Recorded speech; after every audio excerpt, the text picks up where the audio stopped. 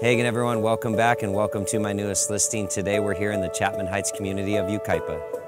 This wonderful property is uniquely positioned just down the street from the Yucaipa Valley Golf Course, only minutes to the regional park with a beautiful lake with fishing and camping, and only an hour up to Big Bear Lake that has seasonal activities all year long. Right across the street from the property is some really cool hiking trails. This home is surrounded by parks in the area as well as a splash pad for those kids to stay cool in the summer.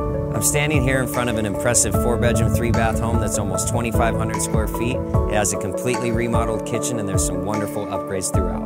What I really love about this home is that desirable downstairs bedroom and bathroom, some super cool and unique finishes and touches that you really won't find anywhere else, and those expansive views over the pool-sized yard in the back. Wow, you guys, this place is super special and I'm really excited to show it off, so let's go check it out.